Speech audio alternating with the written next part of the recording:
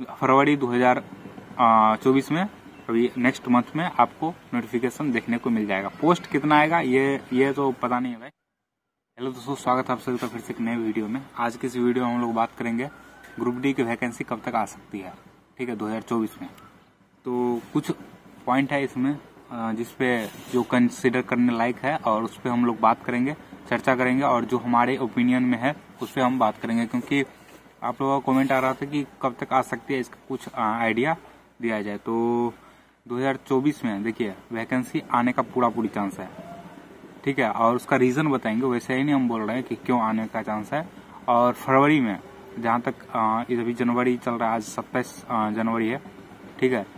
और फरवरी में आपको वैकेंसी देखने को मिल सकती है। इसका बहुत सारे कारण है। तो अगर आप एएलपी का तैयारी कर रहे हैं तो आप ये बुक कंसिडर कर सकते हैं। ठीक है? ये क्वेश्चन बैंक है। एएलपी का और सीबीटी वन और सीबीटी टू दोनों का, ठीक है? ये एग्ज़ाम्स जो भी है 2018 में हुआ था 19 में हुआ था, जितने भी शिफ्ट में एग्ज़ाम्स हुए थे, सारे शिफ्ट का जो है, छप्पन सेट का ये क्वेश्चन बैंक है, ठीक है? इसमें आपको सॉल्व सारे सॉल्व पेपर्स है मतलब कि जितने भी क्वेश्चन है, उसको सॉल्व किया गया है विस्तार से, और इसमें जितने भी ट्रेड ट्रेड का क्वेश्चन है, ठीक है? तकनीकी ट्रेड का, जितने भी ट्रेड ट्रेड का क्वेश्चन पूछे गए हैं, वो सारे इसमें सॉल्व किया गया है, ठीक है? पहला कारण हम जो सबसे इम्पोर्टेंट और पहला कारण है हमारा वो है कि जो अभी इंक्रीज जो एलपी का वैकेंसी आया था छप्पन सौ छियानवे, उसमें वैकेंसी इंक्रीज के लिए मुद्दा चल रहा है और एज एज रिलैक्सेशन और सारी चीज़ें।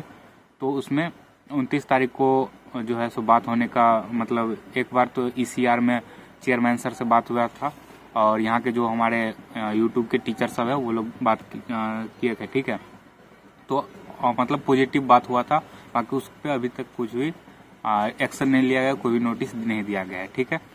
लेकिन, और डब्ल्यू आर वेस्टर्न रेलवे जो मुंबई है, ठीक है, वहाँ से आया था नोटिस जिसमें उनतीस तारीख को बैठक है चेयरमैन सर के साथ, और जो भी टीचर्स हैं, वो करेंगे, ठीक है?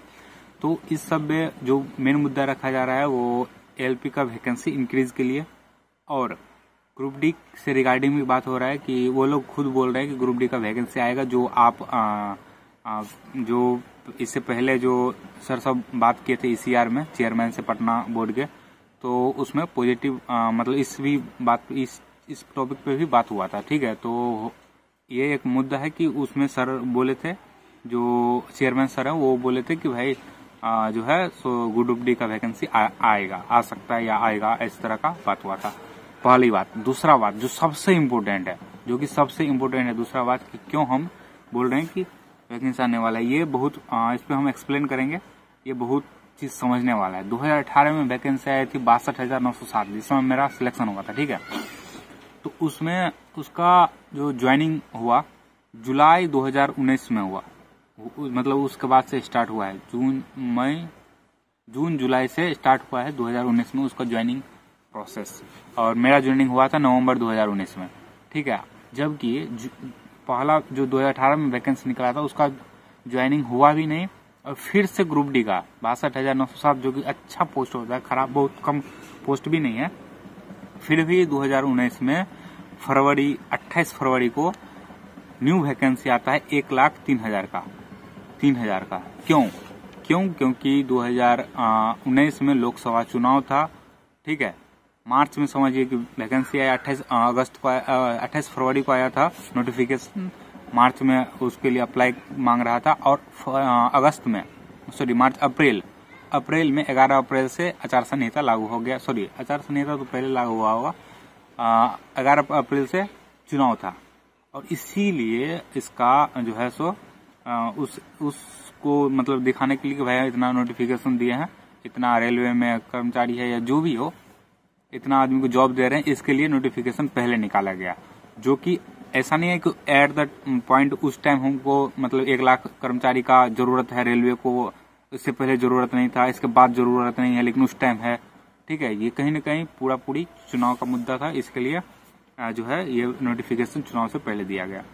और उसका ज्वाइनिंग जो 2019 में जो हुआ था आ, क्या बोलते हैं नोटिफिकेशन उसका एग्ज़ाम हुआ कब?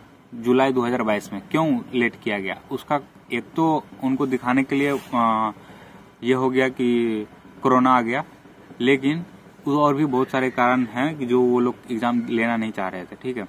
लेट इसीलिए किया गया ठीक है? और जब 2022 मिड 2022 में जो है सो एग्ज़ाम हुआ और 2023 में, जून, जुलाई 2023 के बाद जो है ज्वाइनिंग देना स्टार्ट किया। मतलब कि अभी छह मंथ पहले जो है ज्वाइनिंग हुआ है। ठीक है? तो फिर से इलेक्शन है अभी 2024 में, लोकसभा चुनाव।